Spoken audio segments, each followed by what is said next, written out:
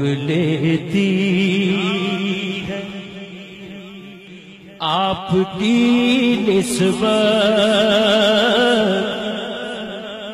तीर जितने भी हम पे चलते हैं।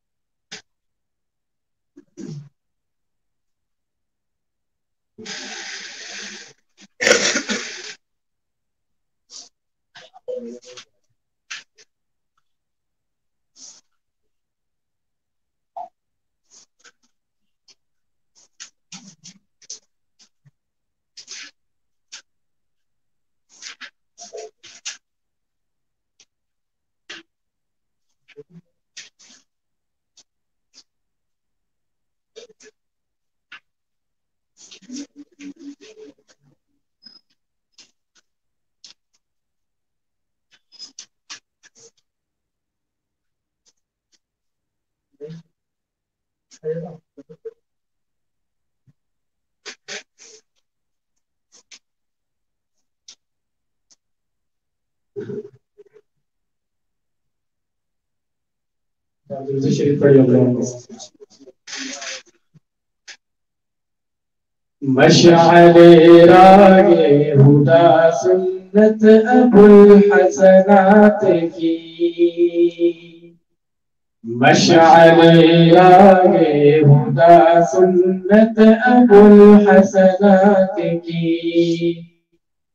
कह कशासी है बुलंद अजमत अबुल हसनात की कह कशासी है बुलंद अजमत अबुल हसनात की है ज़मीन से आसमां तक नूर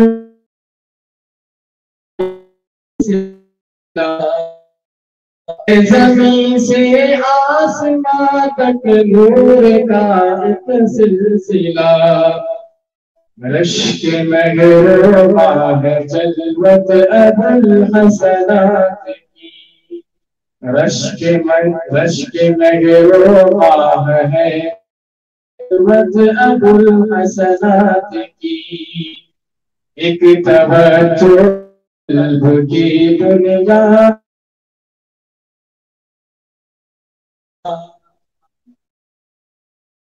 कल्ब की दुनिया बदलती है यहाँ कीमिया से सोहबत अबुल हसनात की कीमिया से सोहबत अबुल हसनात की जग रहे अनवर है रोशन माह काबा की तरह। जग रहे अनवर है रोशन माह काबा की तरह। पुर है, सूरत अबुल हसनात की। है सूरत अबुल हसनात की याद हक और ज़िक्र आका मेरे सुहाबो मसा याद हक और ज़िक्र आका मेरे सुबह मसा। सुन्नतों में है ढली सीरत अबुल हसनात की। सुन्नतों में है ढली सीरत अबुल हसनात की। इल्म से मिला वो फैद कुल बरकात को।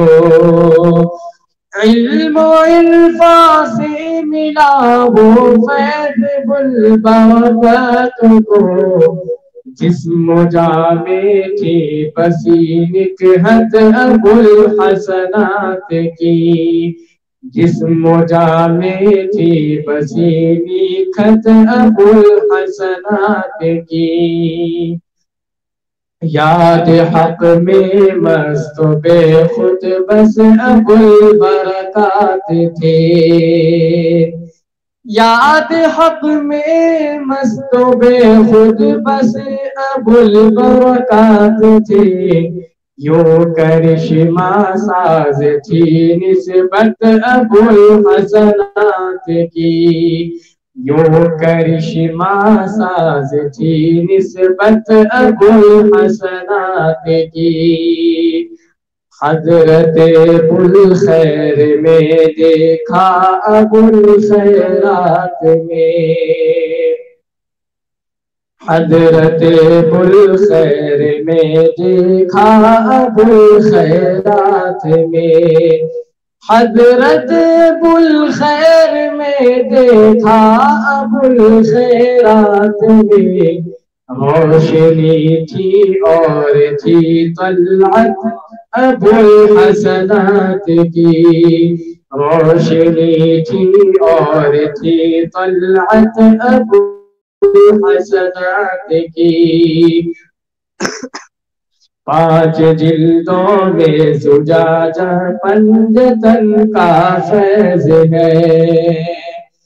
पाँच जिल्दों में सुजाजा पंजतन का फैज है। है हदीस में खिदमत अबुल हसनात की। है हदीस में खिदमत अबुल हसनात की। प्यारे आका की हदीसों का चमकता ये चरा प्यारे आका की हदीसों का चमकता ये चरा था यही सरमाया और सरबत अबुल हसनात की। था यही सरमाया और सरबत अबुल हसनात की। कर्ज जो अहनाफ पर था वो हुआ है अब अदा। कर्ज जो अहनाफ पर था, वो हुआ है अब अदा। फजल हक की बात है हिम्मत अबुल हसनात की। फजल हक की बात है हिम्मत अबुल हसनात की। तर्जुमा की की है तकमील आपने शेखुल हदीस। तर्जुमा की की है तकमील आपने शेखुल हदीस। आपके हक में थी ये दौलत अबुल हसनात की। आपके हक में थी ये दौलत अबुल हसनात की। तर्जुमा के हुस्न से शान रिसालत है आया तर्जुमा के हुस्न से शान रिसालत है आया फैज है अनवार का बरकत अबुल हसनात की। फैज है अनवार का बरकत अबुल हसनात की। सिलसिला नूरुल मसाबीह का मुकम्मल हो गया। सिलसिला नूरुल मसाबीह का मुकम्मल हो गया। आरज़ू पूरी हुई हज़रत अबुल हसनात की। आरज़ू पूरी हुई हज़रत अबुल हसनात की। आपकी चश्मे करम में रहते गए हम सब गुलाम। आपकी चश्मे करम में रहते हैं हम सब गुलाम। है जियारब की अता निस्बत अबुल हसनात की। है की अता निस्बत अबुल हसनात की। मशाले रागे हुदा सुन्नत अबुल हसनात की। कहे कशा से है बुलंद अजमत अबुल हसनात की।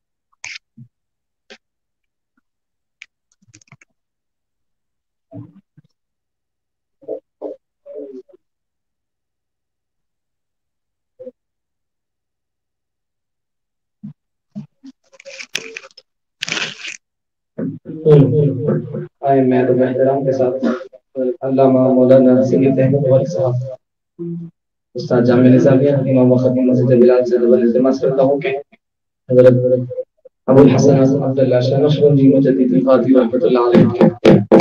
तस्कीरात है।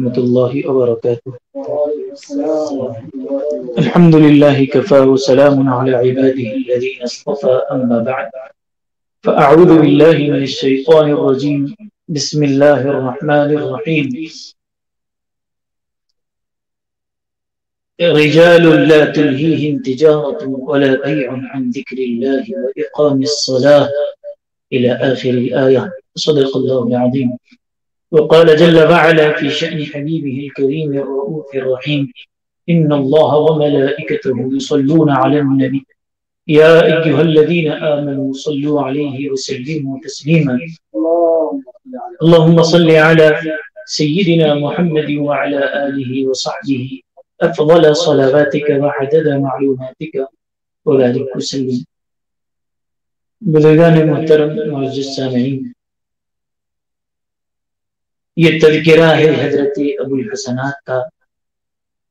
ये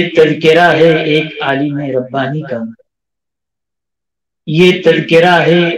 एक रूहानी पेशवा का। ये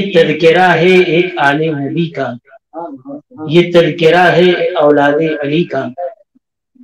ये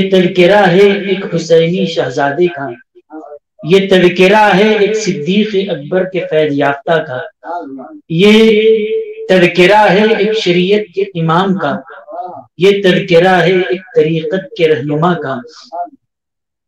कहते जाएँ कहते जाएँ, अल्फाज खत्म हो जाएँगे, लेकिन इन बुज़ुर्गों का मकाम और मरतबा बयान करने से हम आजिज हैं। इससे भी माँ बरा अल्लाह ने इन्हें मकाम और मरतबा अता फरमाया। और आज ये हसन इत्तेफाक है कि आज ही की तारीख, आज ही की तारीख में हज़रत मोहती से दकन का जब उर्स पाक होता है, उसी वक्त हज़रत ख्वाजा खाजगा हज़रत ख्वाजा सईदना निजामुद्दीन महबूब इलाही अलैह का भी उर्स पाक मुनद किया जाता है। इंशाल्लाह कल जुमा में हज़रत के ऊपर मैं खिताब करूँगा।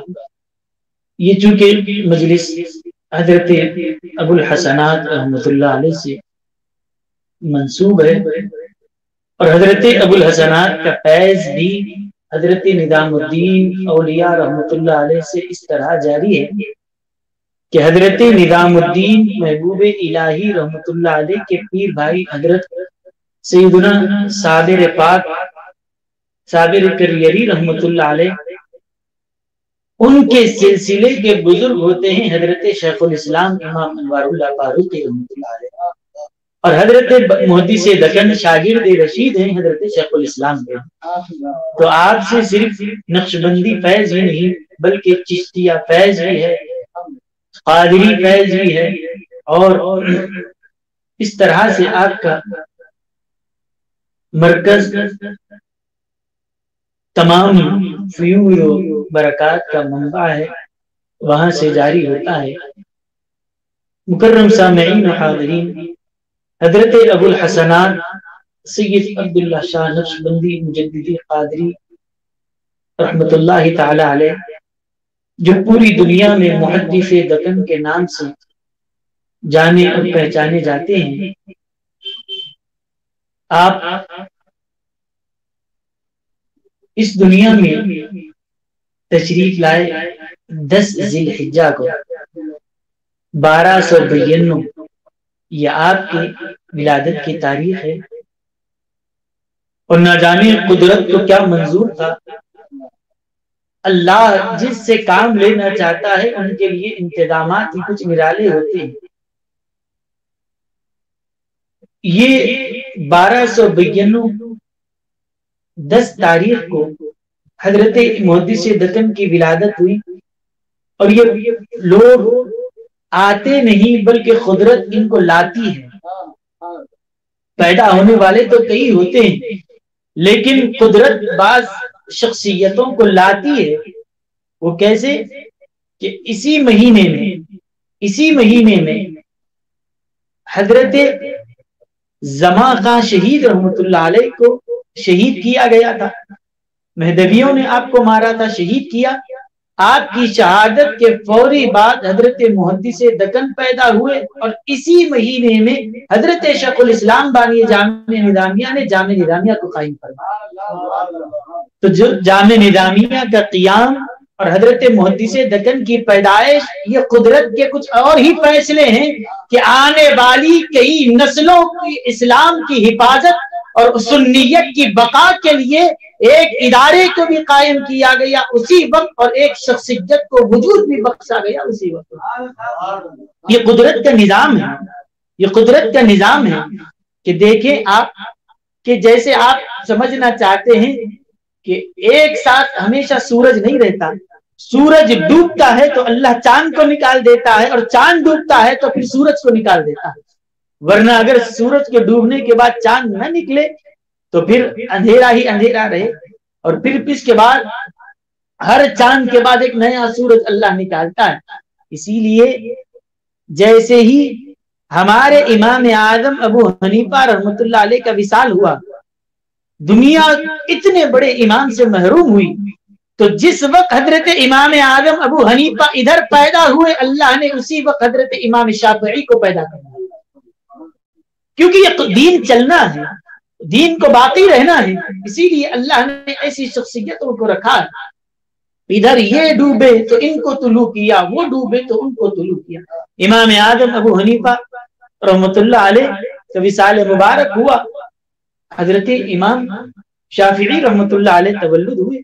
ऐसे ही हज़रत इमाम रब्बानी मुजद्दिद अल्फिसानी रहमतुल्लाह अलैह आपका विशाल मुबारक हुआ। अल्लाह ताला ने उसके बाद फौरी आपके विसाल मुबारक के बाद पैदा हुए हज़रत शाह वली मुहदस दहलवी ये कुदरत का निज़ाम है कि एक के बाद एक एक के बाद एक लाया जाए। हज़रत जमा का शहीद रहमत की शहादत हुई। उनकी शहादत का समरा जाहरी तौर पर यह हुआ कि इस दुनिया में मुहदस दखल लाए गए और जाम निदामिया को कायम फरमाया खैर इस पर मैं गुफ्तगु और मजीद नहीं करूँगा, आगे की तरफ़ आपको लेके चलता हूँ।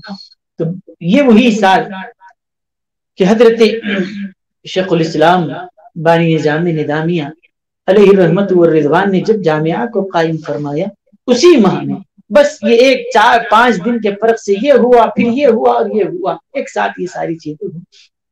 आपकी विलादत बासादत से कबल, आपकी वालिदा माजिदा जो खुद एक आबिदा जाहिदा है वो फरमाती है कि मैंने एक मरतबा, एक मजजूब साहब तशरीफ़ लाए और उन्होंने मुझसे ये फरमाया कि बेटी देखो, आसमान की तरफ़ एक नूर उतरता हुआ नज़र आ रहा है और अल्लाह ताला तुम्हें एक लड़का फर्जंद सालेह अता फरमाने वाला मजजूब साहब ने जब ये बशारत दी आपकी अम्मी जान फरमाती है कि मैंने आसमान की तरफ़ देखा तो आसमान से एक नूर की कंदील नादिल होते हुए दिखी और आसमान से उतर कर वो नूर की कंदील मेरे घर में आई और मेरी गोद में आई और इसी के बाद से इस जो मंजर को मैंने देखा, इसी के साथ ही हज़रत मुहदस दकन मेरे पेट में तशरीफ़ लाए। ये गैबी इशारे थे वो ऐसा नूर कि जिससे सारा आलम मुनवर होने वाला था। आपकी वालद माजिदा को ये दिखाया गया। और उसके बाद हज़रत की जब विलादत हुई कि देखे बचपन में, बचपन तो बचपन है किसी का भी, बच्चों से क्या क्या गलतियाँ नहीं होती। और बचपने में बच्चे अपने बिस्तर पर पेशाब कर लेते हैं, तारत से पारे हो जाते हैं, कभी वहाँ कर दिए, यहाँ कर दिए, ये होता है। लेकिन हज़रत मुहदिस दकन की वालदा फरमाती है कि बचपन से लेकर अब तक मैंने कभी ये नहीं देखा कि मेरे बेटे ने कहीं पर पेशाब किया हो। वक्त मुकर्र था। उस वक्त मैं ले जाकर आती वहीं पर पारी होते। न कभी बिस्तर पर ऐसी मैंने गंदगी देखी, न किसी और मकाम पर। मेरे बच्चे को मैंने देखा। बचपन में भी कभी कहीं पर विलादत करते हुए। ये मामूली बात नहीं है। और बच्चे अगर पेशाब कर भी ले तो कोई ये बुरी बात भी तो नहीं है। छोटे बच्चे होता है। कभी बिस्तर में ऐसा नहीं हुआ। बिस्तर ऐसा नहीं हुआ। ना ही घर में किसी कोने में ऐसा हुआ।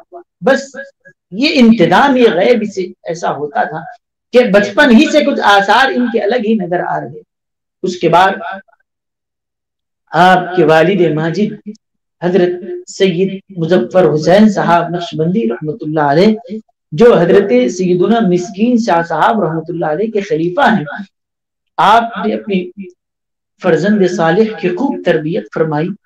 उसके बाद हज़रत शेखुल इस्लाम बानी जाम निदामिया रहमत से आपने इल्म हासिल किया। अपने वक्त के दीगर उलमा से आपने इल्म हासिल किया। इल्म हासिल करते रहे और तरीकत में हज़रत सैदुना पीर बुखारी शाह साहब रहमत के हाथ पर आपने बैत फरमाई।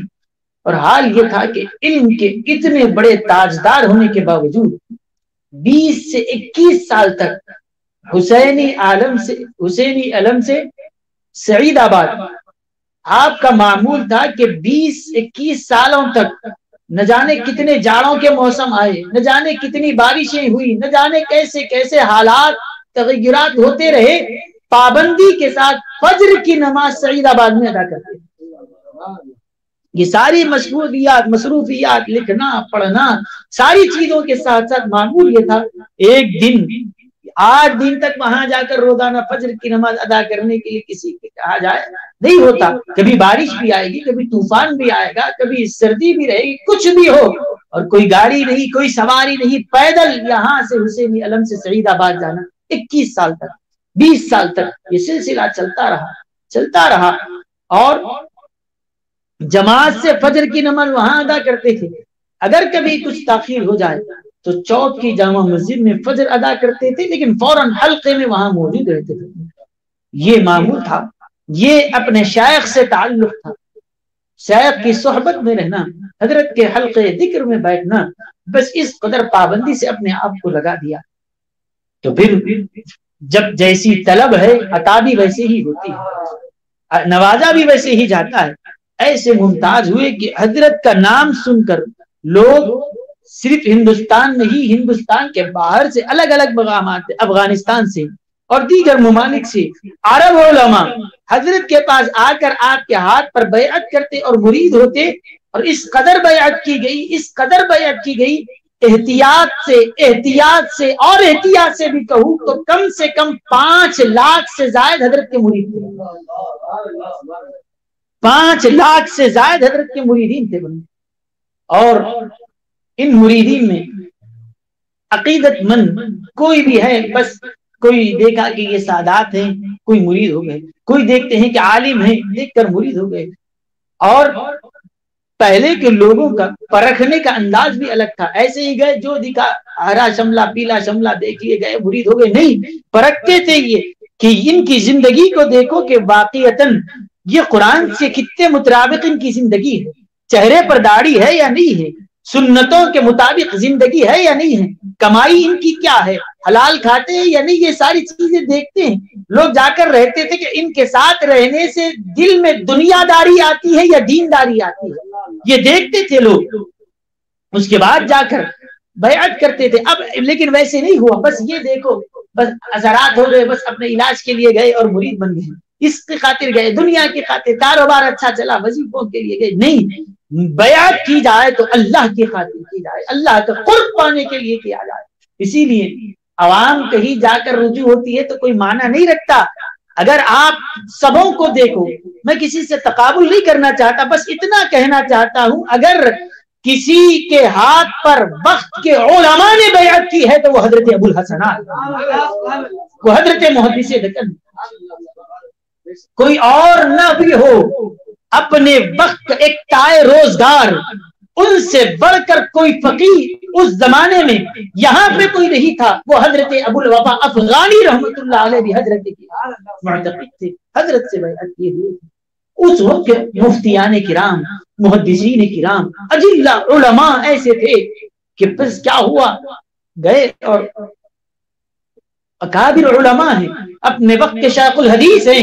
लेकिन हज़रत अबुल हसनात के मुरीद हैं। अपने वक्त के वो मस्जिद के खतीब हैं। अपने वक्त के वाइज हैं। अपने वक्त के मुफ्ती हैं।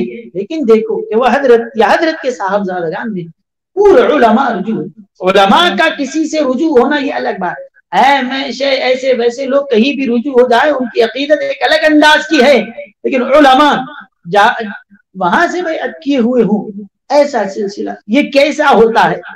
क्यों होता है? कि हज़रत कि दादा पीर हज़रत सादुल्ला शाह साहब रहमतुल्लाह के बारे में लिखा हुआ है कि वक्त के बड़े बड़े ओलमा हैं, हदीस में माहिर, फिकह में माहिर, इतने बड़े बड़े ओलमा हैं अल्लाह के रसूल सल्लल्लाहु अलैहि वसल्लम ख्वाब में तशरीफ़ लाकर फरमाते ए आलिम ए मुहद्दिस ए मुफस्सिर, अगर तुमको मजीद कुर्ब हासिल करना हो तो जाओ सादुल्लाह के हाथ पर बयात कर। लो हुजूर वसलाम पता बताते ये उनके सिलसिले के, कि ये अजीमुल मर्तबा शख्सियत का नाम हज़रत मुहद्दिस दकन कौन जाने उनके मर्तबे को, कौन समझे उनके मकाम को हज़रत मुहदस दकन रहमत के आज भी हम जाते हैं अदला में, हम जाते हैं अलग अलग मकाम पर। तो कई न कई पर ऐसे लोगों को देखता हूँ वाकता मुतशर है। बस ये है कि मस्जिद का एक कोना पकड़े हुए इबादत में है। और जब समझ में आ जाता है कि ये वाकता ये हज़रत अबुल हसनात के मुरीद होंगे। मुलाकात करते करते कि हम हज़रत अबुल बरकत के मुरीद हैं। हम हज़रत अबुल हसनात के मुरीद हैं। वाकता जब उनको देखा जाता है, उनकी ज़िंदगी में तकवा और जो खुदा का खौफ और जो ज़िक्र अजकार में उनकी ज़िंदगी लगी हुई है तो अंदाज़ा होता है कि मुरीद जब इस शान के हैं तो उस शायख के आजमतों का हाल क्या होता होगा मुरीद ही बस ऐसे हैं कि अंदाज़ा नहीं किया जा सकता। कि आप देखें, कितने लोग दुनिया में आते हैं, जाते हैं लेकिन एक तारीखी बात मैं आप अर्ज़ करता हूँ कि किसी के इंतकाल पर बड़े बड़े उलमा भी इंतकाल करते हैं मशायक भी बहुत इंतकाल होता है। लेकिन हज़रत की जो रूहानियत का आलम था, एक इल्मी जो दबदबा था, जब 18 रबी उसानी को हज़रत का विशाल हुआ, हज़रत के विशाल के बाद गवर्नमेंट की तरफ़ से गवर्नमेंट हॉलीडे डिक्लेयर कर दी गई थी। सारे दफ्तर बंद। गवर्नमेंट हॉलीडे ना कोई दे देना, मामूली बात नहीं है। और फिर ये कि कोई सियासी आदमी नहीं थे हज़रत कि सियासत के कोई कोई वज़ीर थे, इंतकाल हो गया तो हुकूमत अच्छा ये बताए कि आज भी कोई एमएलए भी अगर इंतकाल कर जाए तो छुट्टी दी जाती गवर्नमेंट हॉलीडे हो नहीं होती। चीफ मिनिस्टर भी अगर हो तो सिर्फ़ रियासत के हद तक होगा। लेकिन सियासत से तो इतनी दूर थे। सियासत के बस, बल्कि वक्त के बड़े बड़े वजरा आकर उनके पास अदब तय करे, दुनियादारी से अलग एक अपनी खुदा ताला के कुर्ब और उसकी याद में रहने वाले, बस उनकी ज़िंदगी एक मस्जिद का कोना थी, बस अपने शहर की बारगाह थी। बस वही रहना, लिखना, पढ़ना उनका काम था। शोहरत तलब करना, लोगों को कमजमा जमा करना, ये कुछ नहीं था। सारी दुनिया से कट कर रहे, लेकिन उसके बावजूद भी हाल ये था कि बस विशाल हुआ गवर्नमेंट की तरफ़ से ऐलान हो गया कि आज सरकारी तौर पर तातील है। कहा, क्यों सारे दफ्तर बंद रहेंगे गवर्नमेंट के? कहा, क्यों? क्योंकि हज़रत अबुल हसनात का विशाल ये दबदबा था। ये रूहानियत का ऐसा असर अगयार पर भी ऐसा था कि कोई हिम्मत नहीं कर सकता था। कि न इस्लाम के खिलाफ बोलने की कोई ज़रूरत करता था, न कोई बुज़ुर्गों की शान में बेअदबी करने का कोई वहाँ पर तस्वुर था कि जलालत ऐसी थी। तो मेरे बुज़ुर्गों और दोस्तों, ये ऐसे ही पैदा नहीं होती कि ये न किसी के पास जाना, किसी से मुलाकात की ख्वाहिश रखना, बल्कि बादशाह वक्त भी हज़रत पीर बुखारी शाह साहब के पास आए तो कहा कि बादशाह से कह दो कि हम मुलाकात करना नहीं चाहते। अगर वो चाहते हैं कि अपनी खुशी तो हमसे आइंदा कभी ज़िंदगी में मुलाकात ना करें। पैसे देना चाहते, कहा कि हमको इसकी ज़रूरत नहीं है। दुनिया, दुनियादारी से कभी वो करीब है ही नहीं। बस किनारा कश होकर अल्लाह अल्लाह करते रहे। लेकिन जो अल्लाह के हो गए, अल्लाह ने उनकी मोहब्बत सबों के दिलों में बिठा दी। खुदा ताला ने मोहब्बत ऐसी डाली। तो मेरे बुज़ुर्गों और दोस्तों, आपको हज़रत अबुल हसनान का मकाम क्या है? उनके खुलाफा, उनके शहजादे क्या हैं? ये तो बहुत बहुत ऊँचा मकाम है। आपके मुरीद की एक बात सुनाता हूँ। हज़रत के एक मुरीद है वो मुरीद के मकाम को समझेंगे तो फिर खलीफा नहीं है ये हज़रत के। हज़रत के औलाद नहीं है, एक मुरीद है। उनका हाल मैं आपको सुनाता हूँ। वो गए, ये बात है चौदह जिलकादा, तेरह सौ पचहत्तर हिजरी की। ये गए मदीने मुनवरा और जाते वक्त उनके दिल में ख्याल आया कि हज़रत अबुल हसनात ने एक किताब लिखी, जुजाजतुल मसाबी हदीस शरीफ की बहुत मायानाज, मोतबर किताब है। इस किताब को ले जाऊँ। किताब की जिल्द अव्वल और जिल्द दुवम जुजाजा की जिल्द अव्वल और जिल्द दुवम दो किताब जिल्दे लिए और फरमाते हैं कि बस असर और मगरिब का वक्त है। मगरिब की नमाज़ के बाद या असर की नमाज़ के बाद, मगरिब के बाद अल्लाह के हबीब सल्लल्लाहु अलैहि वसल्लम के रोज़े शरीफ पर हाजिर हुए।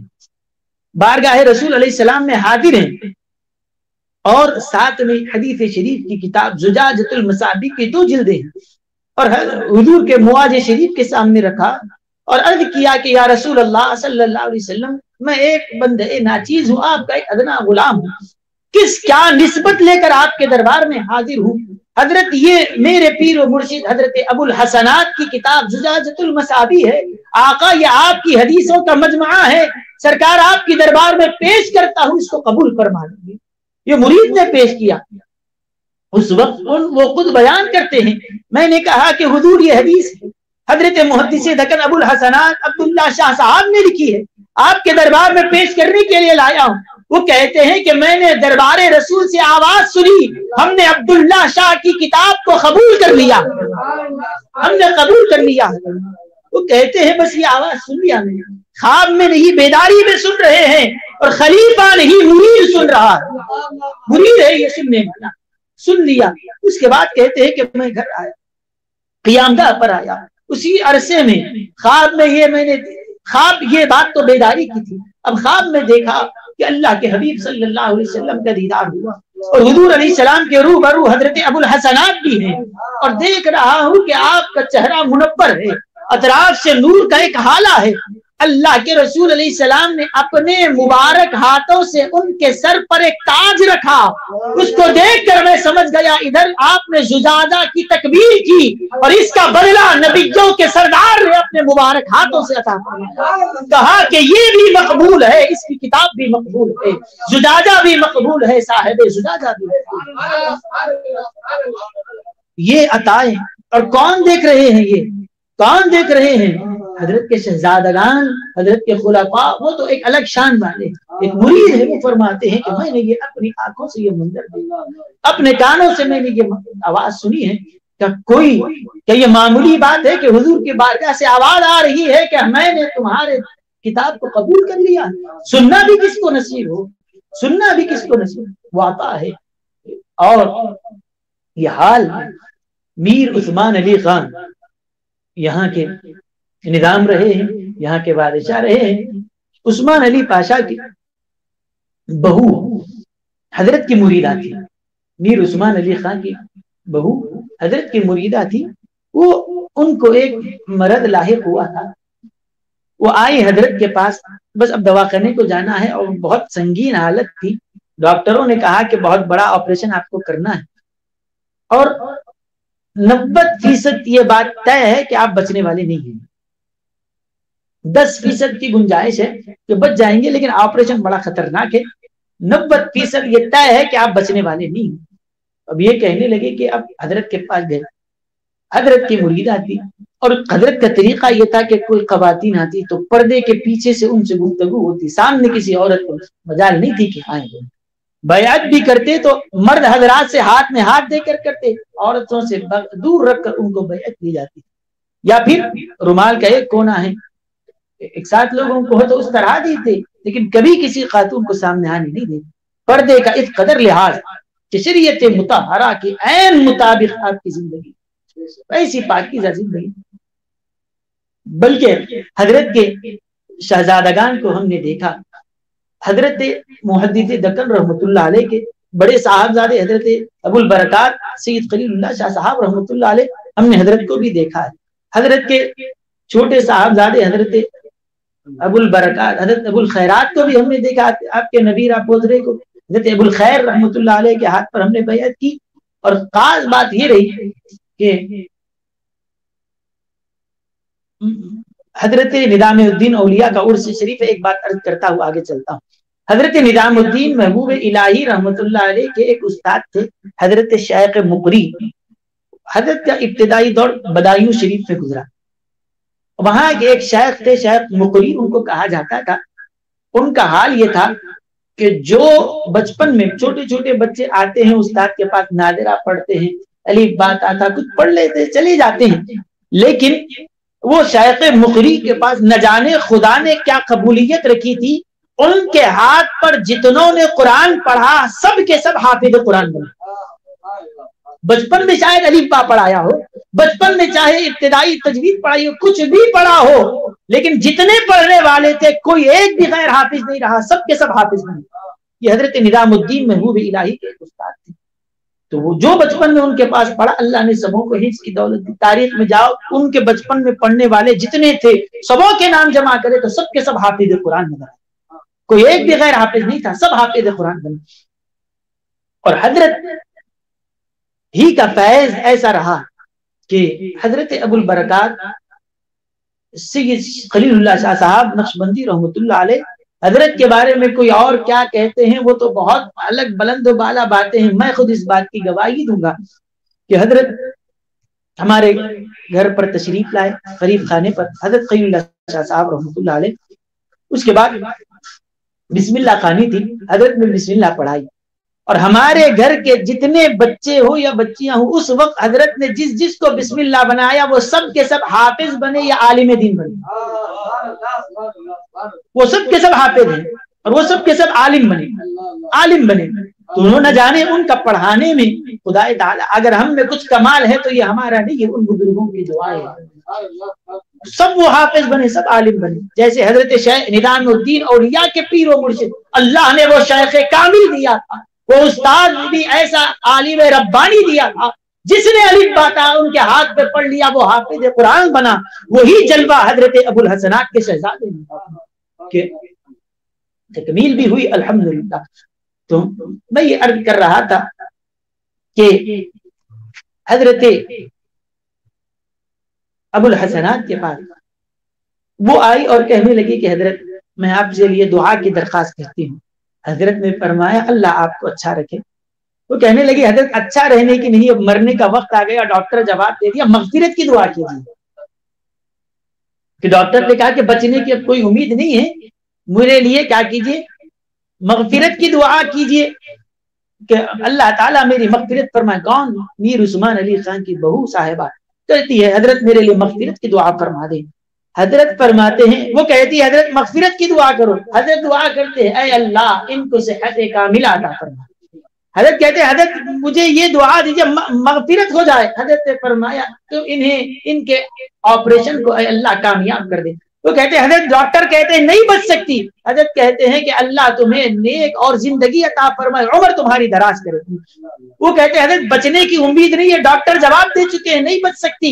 हज़रत कहते हैं, अल्लाह सलामत रखे, तुम्हारा ईमान पर खातिमा हो, खातिमा बिल खैर करे। सेहत तुम्हें मिल जाए। उसके बाद कहने लगे, हज़रत, यही दुआएँ दे रहे ठीक है, ये मिल लिए और चले गए दवाखाने में जाकर। एडमिट हो गए, कहाँ पर? शिफा खाना, उस्मानिया। उस्मानिया में गए और शरीक हो गए। डॉक्टर ने कहा कि कल परसों आपका ऑपरेशन होने वाला है, एक्सरे वो सब ले लिए। वो हज़रत की, उस्मान अली खा की, पाशा की बहू साहिबा फरमाती हैं कि ऑपरेशन से दो दिन पहले जब हम जाके एडमिट हो गए, अब सारे ऑपरेशन की तैयारियाँ हुए और कई लोग तो ये यकीन थे कि अब ये मरने वाले हैं, इंतकाल हो गई। सब जगह कहाँ पर दफनाना जाए, सब तैयारियाँ हो गई। वो कहती है कि मैंने ख्वाब में ये देखा कि हज़रत मुहदस दकन तशरीफ़ लाए और आपने अपनी मुबारक उंगली से इशारा किया। तो वो कहती है कि मेरा पेट शक हुआ। जो भी वो था, हज़रत ने निकाल दिया। उसके बाद अपना लुआब मुबारक लगाया तो मेरे जो टाकों की ज़रूरत नहीं पड़ी, वो पेट मिल गया। ये ख्वाब में देखा मैंने। उसके बाद रूटीन चेकअप के लिए डॉक्टर आया। डॉक्टर से कहने लगी कि मुझे डिस्चार्ज कर दो। डिस्चार्ज करो वो कहने लगा कैसी बात है? और ये मामूली बात नहीं है। मीर उस्मान अली खान के घर आने का मामला है। जरा सी वो चीज़ आ जाए तो डॉक्टर का नाम था डॉक्टर बहादुर खान। उस वक्त जो डॉक्टर थे डॉक्टर बहादुर खान बड़े माहिर थे। निदान के घर का इलाज करना, बहुत माहिर डॉक्टर डॉक्टर से कहा कि नहीं डिस्चार्ज कर दो। कहा कि डिस्चार्ज कैसे करे? ख्वाब में अगर कोई देखे तो इतना यकीन भी हो, इतना शायख पे इतना भरोसा भी होना चाहिए। वो यकीन भी हो निस्बत पर। कहा कि डिस्चार्ज कर दो। है कोई इतनी हिम्मत वाला है तो ख्वाब में ये देखे और कह दे कि मुझे डिस्चार्ज करना है। फिर नाजुक इतनी हालत है कि बचने की कोई उम्मीद नहीं कहा कि डिस्चार्ज कर दो। कहा कि नहीं हो सकता। क्या जवाब देंगे ऊपर? नहीं हो सकता। कहा कि डिस्चार्ज करना है। ठीक है इतमान के लिए। मुझे तो इतमान है कि डिस्चार्ज करना है। अगर तुमको इतमान चाहिए तो एक मरतबा एक्सरे ले। डॉक्टर आए। एक्सरे लिया। उसके बाद कहा कि पेट में जो उनके था रसूली जो थी वो देखा कि उसका इतनी बड़ी चीज़ थी, थी उसको निकाला जाने वाला था उसका नामो नशा तक बाकी न रहा। डॉक्टर सर पकड़ के बैठ गया कि ये क्या था? और एक दिन पहले के एक्सरे में बता रहा है कि ये है एक दिन के बाद के एक्सरे में कि हुआ क्या? उसने देखा कि कहीं टाके का निशान है। कहा कि नहीं टाके का निशान है ना कुछ है। सारी चीज़ें हो गई। तो ये ये है हज़रत उसके बाद अगर कोई आकर कहता कि हज़रत, ये करामत है बाएँ बोला, खामोश कर जा, किसी से ज़िक्र न करना। वरना क्या होगा, शोरा होगा, लोग आएँगे और यहाँ पर पीछे पड़ जाएँगे। नहीं, एक काम है, यहाँ पर आए, आओ, खुदा के ज़िक्र के लिए आओ, अल्लाह के नबी की सुन्नतें सीखने के लिए आओ, अपने आप को ऐसे छुपा लेते छुपा फरमा उसके बाद आपसे एक हज़रत के मुरीद थे। ये मैंने उन, वो मुरीदी से मैं खुद बाद मिला हूँ, मुलाकात किया हूँ, बड़ी उम्र के। ये किताबों में ये बात नहीं है। हमने बराह रास्त उनसे सुना है और मैंने हज़रत, मेरे उस्ताद मौलाना हज़रत दिया मिल्लत से सुना कि हज़रत के एक मुरीद ने हज़रत को खुद डायरेक्ट कहा कि हज़रत महाराष्ट्र के इलाके में नंदरुप में आपका वतन नंदरुप के पास। उस इलाके में गन्ने की पैदावार भी ज़्यादा है, आज भी वैसे ज़्यादा होती है। तो एक साहब गए, अब हज़रत के पास जा रहे हैं, कुछ ना कुछ लेकर जाना चाहिए। तो गन्ने थे, गन्ने का एक कट्टा बनाया और गए, हज़रत के पास ले जाकर पेश किया, वहाँ से लाए गन्ने। हज़रत, गन्ना आपके पास है। उतना बड़ा गन्ने का कट्टा है, उसके अंदर से हज़रत चुन के चंद छड़िया निकाल लिए निकाल कर उसके बाद चंद थे, उनको वापस कर दिया। और कहा कि आइंदा ऐसा ना करना। लोग बोले कि ये ले रहे हैं तो पूरा ले लेते, या दे रहे हैं तो पूरा दे देते। नहीं, चंद थोड़े उसके अंदर से निकाल लिए, उसके बाद वापस कर दिए, ऐसा आइंदा न करना, ले जाओ इसको वापस करो। वो कहते हैं कि मैं रास्ते में किसी जंगल में था, वहाँ से एक गन्ने दिखे तो वहाँ से लिया, पैसे दिया, खरीद लिया। उसके बाद निकलते निकलते चंद छड़िया उसके अंदर से खींच के निकाल के इसमें मिला लिया था। और जितने मैंने निकाल कर मिलाए थे, हज़रत ने लिया नहीं, कहा वापस करो। और जितने खरीद कर लाया था, उसी को कबूल किया। और उस जंगल में जो हुआ, मेरे अलावा कोई नहीं जानता। मैंने पैसे दिए, उतने जितने पैसे के देना था, दे लिया। उसके बाद जाते जाते छड़िया खींचने की आदत है। वैसे गाँव वालों में रहती आदत। ले लिया, चल लिया और वो देखने वाला भी क्या करता, चलो ले लिया तो ले लिया। आप भी जाए, खेत में जाके एक आध चीज़ लेकर खामोश बैठ जाते हो। देख के नजरअंदाज कर देता लेकिन ऐसी शुबे की भी कोई चीज़ रजा में ना आने पाए। और वो हदत लेकर खुद खाते भी रहते इधर से आया, यहाँ से आया, अल्लाह की तरफ़ से आया और अल्लाह के बंदो ही को दे दिया। यहाँ से लिया, वहाँ दे दिया। बस गरीबों को दिया। कितने ऐसे घराने थे जो हज़रत के वजीफों पे पला करते थे। चलाते थे दे दिया करते थे। वो ताता बच्ची की आदि है बस मुसल्ले के नीचे से हाथ डाले निकाले इतना दे दिया बस देते जाते देते जाते थे। ये सिलसिला चलता था। तो बस वो साहब कहते हैं कि बस मुझ पर ऐसा बिजली गिर गई और गए वो जे जाकर जितना था कट्टा वापिस करे। और हज़रत ने फरमाया किसी को कुछ नहीं मालूम बस इतना आइंदा ऐसा ना करना पड़ेगा। और कितने बचाए? कितने बचाए कहते कि मैं गिन के देखा, जितने छड़िया उसके अंदर से खींच के निकाला था, उतनों को हाथ भी नहीं लगा और किसी को पता नहीं, ये फिरासत ईमानी, ये ईमानी फिरासत है कि अल्लाह ताला जब किसी को अपना महबूब बना लेता है तो गलती से भी ऐसी कोई हराम या कोई शुबे की चीज़ भी अल्लाह उनके पेट में जाने भी नहीं देता।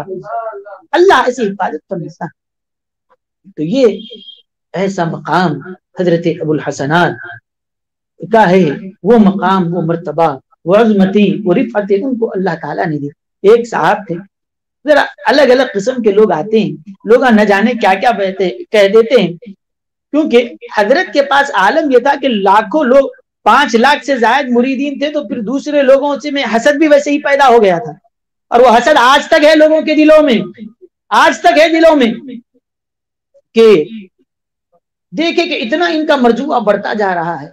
और हसद लोगों के दिलों में था, न जाने कुछ भी बोल दिए फला फला चीज़ कह देते थे, जुमले कह देना, बड़ा आसान है। लेकिन एक शख्स आया और हज़रत से मुलाकात करता था।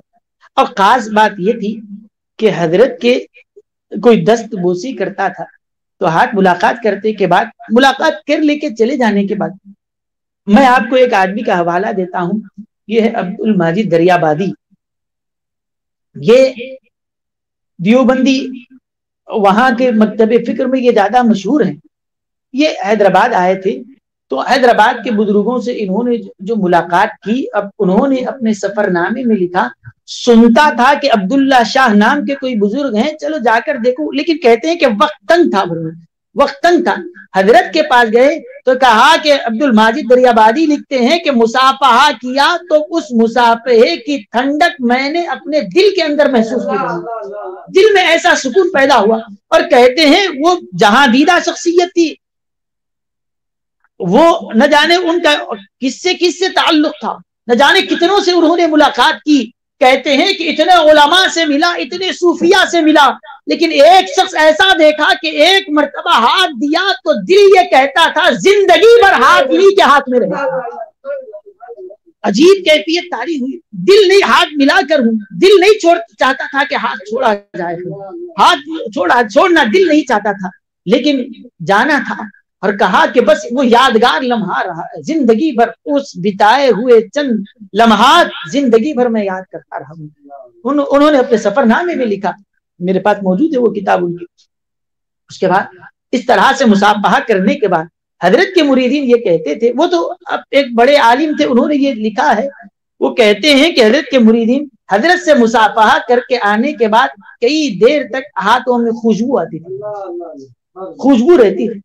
एक साहब थे, नहीं थी, वो तुम्हारे हज़रत पहले से इत्र लगा लेते होंगे।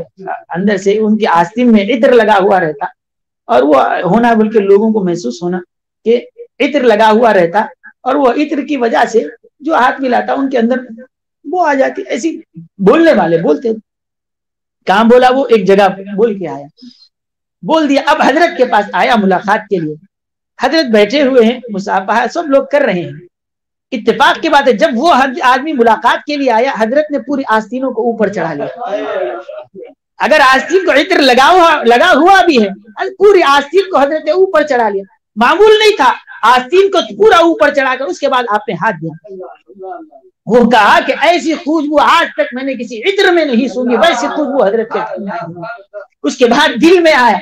अंदर से तंबी भी हो गई कि वो कहा जाके मैंने बात की थी और यहाँ आए तो आस्तीन उठे हुए आसिम चढ़ा, उठे, उठाए हुए। और एक मैं आपको अर्ज़ करता हूँ, कोई मेरा वाकया है। हज़रत अबुल खैर अलैह, हमारे एक रिश्तेदार हैं, वो यहाँ न्यू सिटी के रहने वाले हैं। वो एक अलग माहौल में रहे थे, वहाँ के रहने वाले। तो वो बोले कि मैं हज़रत के हाथ पर बैत करना चाहता हूँ। बोले, ठीक है, आइए, इतवार के दिन हल्का होता है, आप चलिए, वो आए। उसके बाद मैं उस वक्त जाम निजामिया में था, तीन बजे। नमाज़ होती थी दोहर की, वैसे ही आ गया। तो अब जा रहे हैं वो अंदर। तो अब वो न जाने वहाँ पर कैसे कैसे लोगों को देखे थे। तो बोले कि, अब वो पीरी मुरीदी में मैंने अलग अलग जगह पे अलग अलग लोगों को देख के क्या करना पड़ता? है मतलब कोई करना नहीं है, बस आओ। हज़रत जो नसीहत करें, उस पर अमल करो ये। तो उसके बाद, नहीं नहीं, वो हमारे कई लोग हैं वो जाते वो लोग अपने मुर्शद को सजदा करते अपने मुर्शद को सजदा ताजी भी करते। क्या ये ऐसा करना है क्या? ये ये भी होता क्या? अगर ऐसी चीज़ है तो मेरे को ऐसी मुरीदी नहीं होना। मैं बोला देखिए शरीयत का मसला ये है कि आप समझ जाइए। शरीयत ये कहती है और उसके बाद और ये चीज़ें तो हाँ, कुछ है भी नहीं। इसकी कोई असल है भी नहीं। आप आइए। कहाँ हुई बात ये? वो कहा मुझसे मुलाकात किए जामे निजामिया। उसके बाद मैं लाया हुसैनी अलम आदत आए मुरीद बने। मुरीद बनने के बाद, अब वो वो मुलाकात के लिए गए तो हज़रत हाथ पकड़ लिए। हाथ पकड़ लिए, उसके बाद फरमाया, सुनिए सुनिए। फरमाते हैं, हमारे रसूल सल्लल्लाहु अलैहि वसल्लम ने इरशाद फरमाया कि मेरी शरीयत में गैरुल्लाह को सजदा करना हराम है अगर सजदा करने की इजाज़त होती तो मैं बीवियों से कहता कि वो अपने शौहर को सजदा करे, वरना ये भी हमारे पास मना है। जायज़ होता तो उनको फरमाते, सजदा अल्लाह के अलावा किसी और के लिए जायज़ नहीं है वो अचानक इतने शौक हो गए और ऐसे हैरान के हो गए सब लोग आ रहे मेरे खामोश ज़ुबान है, किसी से बात ही नहीं कर रहे थे ये आकर हाथ बीते हाथ पकड़ ले। उसके बाद उनको फरमाया, हमारी दीन में गैरुल्लाह के लिए सजदा जायज़ नहीं है। सजदा ये सिर्फ़ अल्लाह के लिए किया जाएगा। वो परेशान हो गए कहते हैं कि अब तक औलिया अल्लाह कैसे हैं, सुना था, आज देख लिया। किताबों में पढ़ते हैं कि अल्लाह का वली दिल के हाल को जान लेता है। लेकिन कभी ऐसे वाकयात हो जाते थे। हज़रत का हाल ये था मियाँ वो नहीं किसी और अब्दुल्ला शाह के बारे में तुमने सुन लिया वो मैं नहीं हूँ शोहरत को पसंद नहीं करते थे वो कोई और होंगे मियाँ हम नहीं है वो। हम तो बस आम आदमी है एक आम उन्नति है बस अल्लाह के दीन के लिए काम कर रहे हैं मत मत करो। किसी से ताकीद कर देते नहीं लोगों में ये बताना नहीं। शोहरत हमारा मकसूद नहीं है शोहरत मकसूद नहीं है शोहरत फरमाते हज़रत अक्सर फरमाया करते थे मियाँ शोहरत से बचो क्योंकि शोहरत में क्योंकि क्योंकि करामतें और ये ऐसी चीज़ें वो दिखाएँगे तो क्या होगी? शोहरत होगी, ऐलान से शोहरत होगी और शोहरत में आफत है फरमा शोहरत में आफत है फरमा बस ये नहीं, लोगों के दरमियान मकबूल होना कमाल नहीं, अल्लाह के दरबार में मकबूल है। लोग कितने चाहने वाले हैं? मैं जाता हूँ तो कितने लोग इस्तेमाल के लिए आते लोगों की फ़िक्र नहीं, बस ये है कि बस एक को राज़ी करो, एक के हो जाओ, एक को राज़ी कर लो। लोगों को कब तक राज़ी करते हैं? आज ये खुश है तो कल वो नाराज़ वो नाराज़ है तो ये खुश, इनको राज़ी करने की फ़िक्र इसीलिए हज़रत उस जमाने में तस्वीर के मसले में बड़े सख्त थे, फ़ोटो लेने के बड़े खिलाफ थे। तो हज़रत के लिए एक नौकरी आई, हुकूमत की तरफ़ से ये पाबंदी, जब तक आप तस्वीर लेके नहीं लगाएँगे, ये आपको नौकरी मिलने वाली नहीं। हज़रत ने फरमाया कि देखो, मेरी जाहिरी, मैं कोई दूसरा आदमी तो नहीं हूँ कि फ़ोटो इसलिए लगा रहे कि ये आइडेंटिफाई के लिए यही आदमी है या नहीं? मेरी शख्सियत की पहचान के लिए किसी गवाहों को रख लो कि यही है, नहीं है, आप वेरीफाई कर लीजिए। और गुलिये को देख लो, वही हो या नहीं हो सारी चीज़ें वेरीफाई करके देख लो। अब रही है बात कि मैं तस्वीर तो नहीं लगाऊँगा। अब उसके बाद क्या है कि नहीं, इसके लिए ज़रूरी है, वरना ये नौकरी तो नहीं मिलने वाली। हज़रत ने फरमाया, तुम्हारे चंद साठ ठीकरियों की खातिर मैं अपने खुदा को नाराज़ करने वाला नहीं, तू तेरी नौकरी रखेगा मैंने हज़रत अबुल खैर रहमतुल्लाह से मैंने खुद कानून से सुना कि उस वक्त हज़रत की खातिर कानून बदल दिया गया। सबके लिए फ़ोटो लाजिम है, आपके लिए बगैर फ़ोटो के चल जाएगा। एक वक्त ऐसे आया और पासपोर्ट पे और सफ़र हज के लिए जो हज़रत गए हैं, बगैर फ़ोटो के आके रहे खानून, हज़रत हज़रत रहमतुल्लाह शाह साहब से मैंने खुद सुना, सिर्फ़ हज़रत के लिए कहा कि तुम अल्लाह की शरीयत को नापिस वो करते रहे, कहा कि हम शरीय हुक्म को बदल नहीं नहीं बदलेंगे। उनकी खातिर दुनिया का कानून बदल दिया गया। फिर उसके बाद फिर अपनी जगह पे वापस आ गया, फिर से, अब है कोई बगैर पासपोर्ट ऐसा बनाए बगैर फ़ोटो भी जाके आ सकता नहीं कर सकता। लाजिम है, मजबूर है। लेकिन वो कुछ ऐसे हो जाते हैं कि उनकी आ, उनके इस्तेकामत के आगे कानून मजबूर हो जाता है। हम कानून के आगे मजबूर हैं लेकिन उनके आगे कानून खुद मजबूर हो जाता है। वैसे इस्तेकामत के साथ रहे? तो मेरे बुज़ुर्गों और दोस्त तो शरीयत का जो पास लिहाज होना चाहिए शरीयत पे जो इस्तकामत होती है ये इतबा रसूल हजूर सलाम की इतबा है आपके नमूने के मुताबिक किसका अमल है तो वो हमारे पास एतबार वाला है। वरना चाहे कोई भी कुछ भी हो, निकाल दो हज़रत के सबका ज़िक्र हो गया। एक हज़रत अबुल खैरात का ज़िक्र बाकी रह गया। मैं एक बात अर्ज़ करता हूँ। हज़रत अबुल खैरात रहमतुल्लाह एक मरतबा एक साहब आए, दरगाह शरीफ में बैठ गए और वो कुछ कह रहे थे कि ये हो रहा, वो हो रहा अजीब अजीब किस्म की बातें कर रहे थे। तो हज़रत को फ़ोन करके लोग बोले कि हज़रत एक आदमी आके बैठे और ये कर रहे हैं। अब कोई मजूब मजूब साहब रहेंगे, हम निकाल के बाहर कर देंगे खामा जो है, लेने के देने हो जाएँगे।